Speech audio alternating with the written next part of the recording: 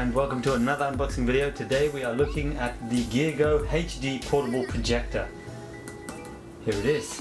Let's get started.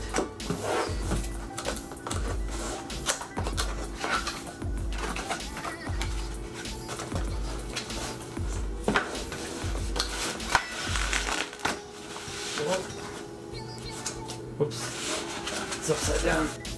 Okay, so in the box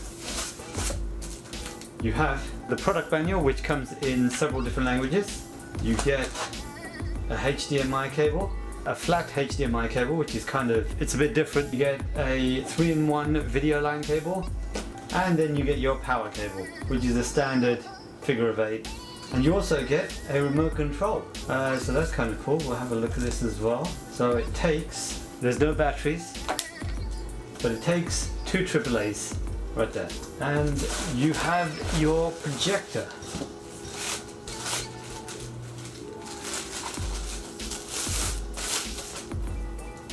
Alright, so there's the projector. Um, so as you can see, it is actually quite small. Right, on the front you've got your infrared port. On the right hand side you've got your power port and a vent for the fan. At the back you've got your VGA port as well as another infrared port and then on the left hand side you've actually got your SD card reader. You have uh, an audio port uh, for headphones. You've got an AV port. That's for the audio video cable that we've got there. You've got two HDMI ports and a USB input as well. Uh, and then that again is another fan. So this projector does actually come with two fans.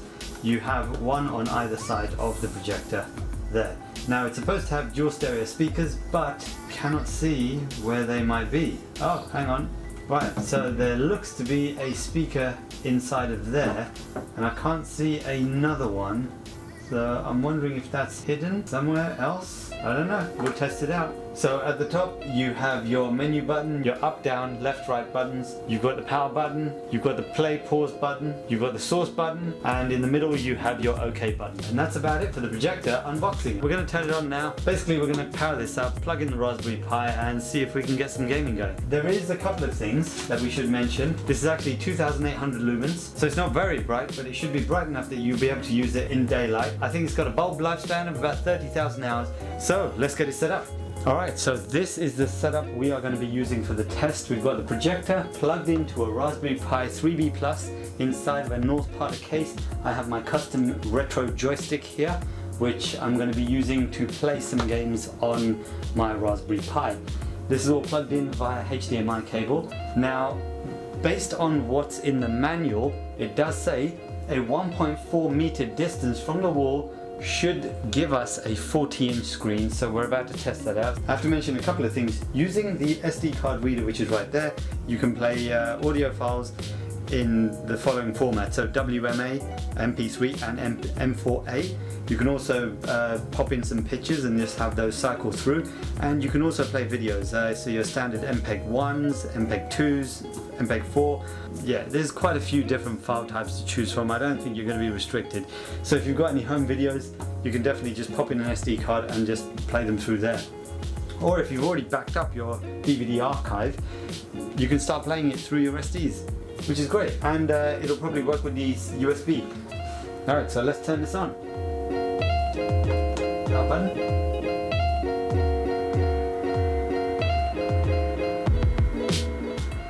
Alright, so you can see the light has just popped on. There we go. Okay, seems to be working. But I'm going to need to move this forward so it's off. I had to get a box to raise it up so it actually presented itself a little bit better on the wall. Uh, otherwise it was actually touching the table and then the camera couldn't see the front of it. Anyway, long story short, got a box. Uh, now, if I just change the focus, so you've actually got two rings that you can move around here. The first ring is your focus ring, the second ring is to change the keystone.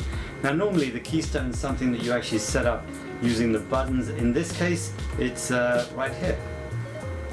So it looks to be okay. Doesn't seem to be anything wrong with that.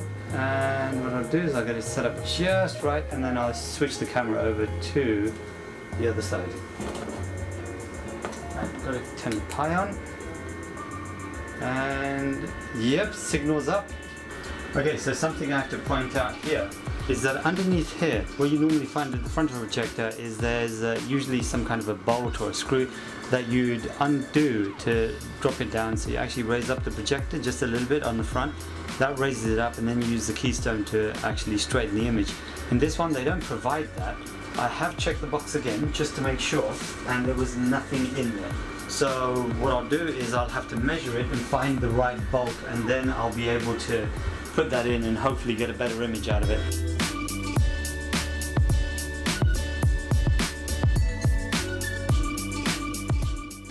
Alright, so what these guys are saying is that at 1.4 meters, the distance from the wall to the projector, you should get a 40 inch screen. Now if we measure this, you guys can see that it's uh, about, oh, I don't know if you can see that, 135, 136. Diagonally, we are getting 41 inches. Alright, so I turn the lights off and there you have it. It does actually look a lot better with the lights off. This is still daylight. I can still see the screen quite clearly. Uh, I'm to get started with a game.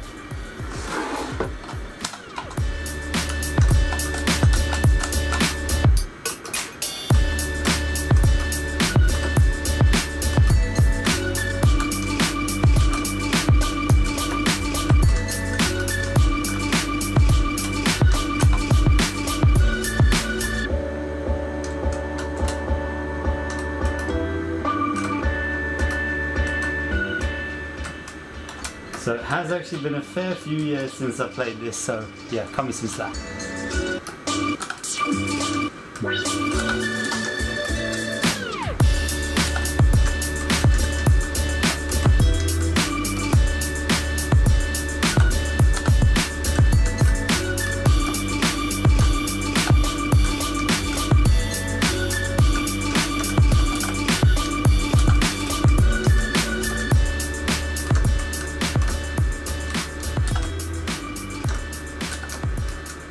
So I just checked the audio settings are actually a problem with my Raspberry Pi, uh, so I'll have to fix that. Um, but otherwise it did actually work. Stereo sound, not that great.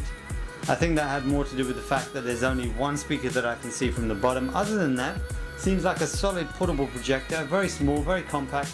Uh, does exactly what it needs to do in terms of being able to project at 1.35 or 1.36 meters away from the wall, getting 41 inches on the display. This is a standard 1080p projector. Alright, so I'm going to try and get my Raspberry Pi configured so I can get more sound out of this thing. So I'm going to go ahead and test out the SD card reader and the USB port just to make sure that everything works fine. If there are any glaring issues, I will add that on uh, after this. If not, this will be the end of the video. So let me know how you think I did, if there's any way I could have improved it. Please subscribe and thanks for watching.